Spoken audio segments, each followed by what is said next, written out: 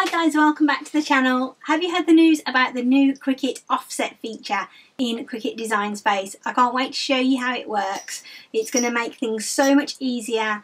We don't have to have an additional program to make our offsets anymore. We can do it really easily in Design Space as one feature. And it's a really great way of adding new layers to your designs. So I'm going to jump straight into it now and just show you really quickly how to use the offset feature.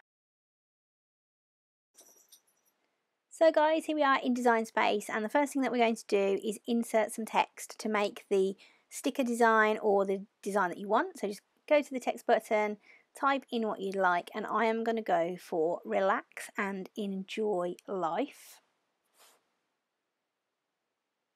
And then all I'm going to do is resize it. So I'm going to ungroup first of all and make everything individual letters. So ungroup and then I'm going to select each word and group it back up individually so I can move each word around the canvas.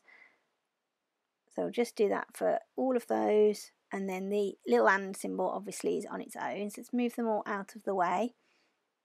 I'm going to make my and a little bit bigger so I'm just going to unlock the handle on there and make that bigger. I'm just going to arrange each piece now to how I want it to be. I'm going to show you um, a vinyl layered sticker and also a print then cut version of the same thing and I'll show you how to change it from layers into a print then cut. It's very simple to do.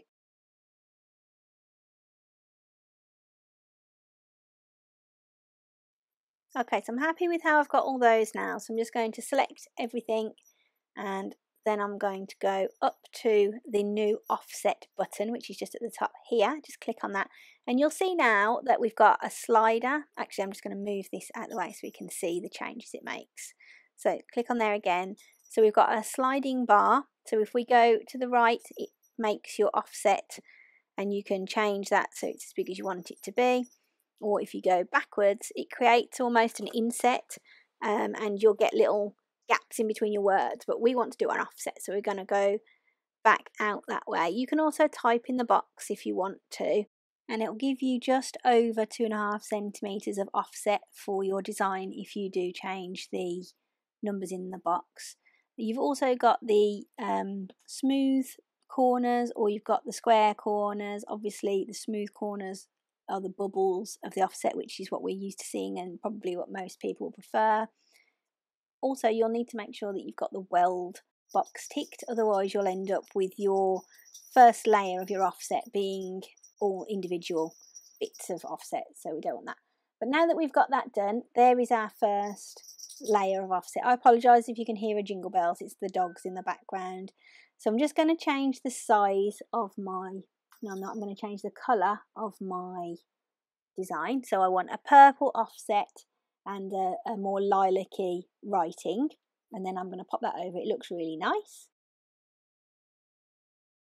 So in proper Blue Peter style, here's one that I made earlier and this is Relax and Enjoy Yourself.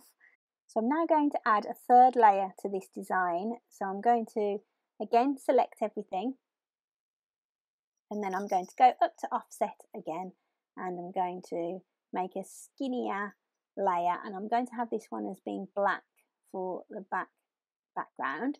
And I think it just really makes it stand out a bit a little bit more by having another layer. So you can see that we've got the black the purple and the lilac now.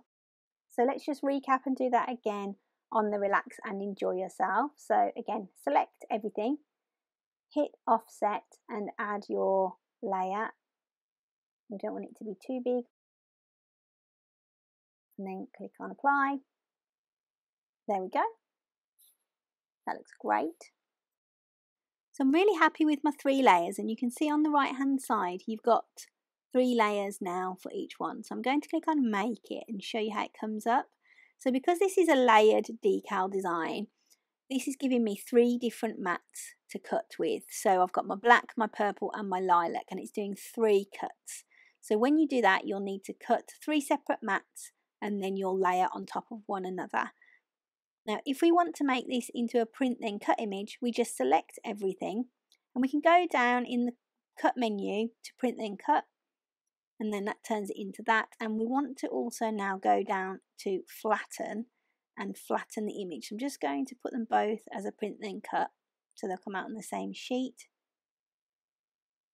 And then let's just go again and select one of the stickers and then we'll go down to flatten and this basically makes everything in your design one layer. So if we go on to make it now, as you can see that's turned it from three into one. The three layers are still on the other one and this one has turned into one layer. So if we go now and do the same with this one, we've got our separate layers. So let's move that one over, that's one layer. So let's select everything on here and then again go down to flatten, hit flatten and you'll see all the layers have disappeared on the right hand side and now we have one layer for our sticker ready to be cut out. So if we go to make it, we've now got a plain sheet and we've got the print then cut image on the screen with the black borders and it also says print then cut on the side. One thing that I just need to mention before we finish off is that this is a desktop only feature at the moment. Offset will not work on iPads or iPhones but hopefully it won't be too long before they include those as well. Thanks for watching. If you enjoy this video, please give it a thumbs up, comment down below if you've got any questions and subscribe. Thanks a lot. Take care.